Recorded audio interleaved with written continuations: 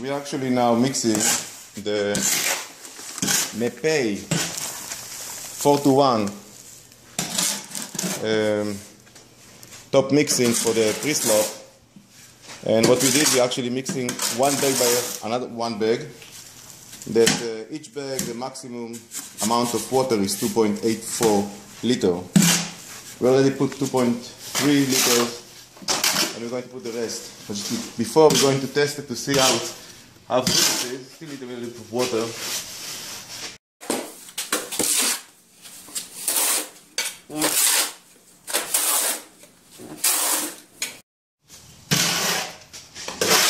So we're adding a little bit more water.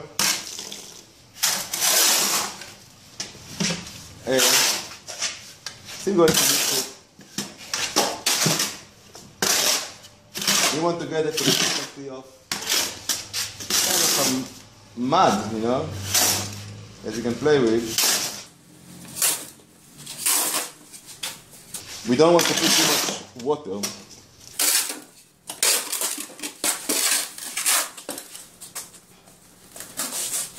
So this is the one we actually use.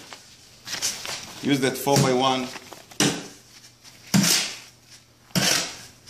Sand. So it's 4 sand, 1 sand. You can use the quick if you want at uh, 3 by one but it's a little bit more difficult to work with. And I actually purchased it from uh, Floor & Decor. It was quite uh, more expensive. It's very easy to work with.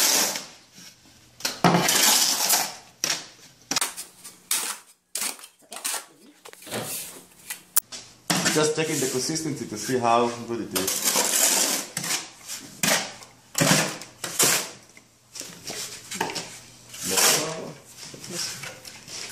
More water?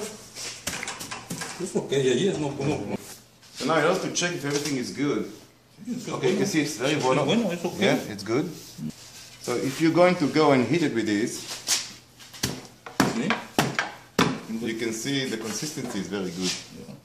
So we can actually go and start to work and create the pre-slop.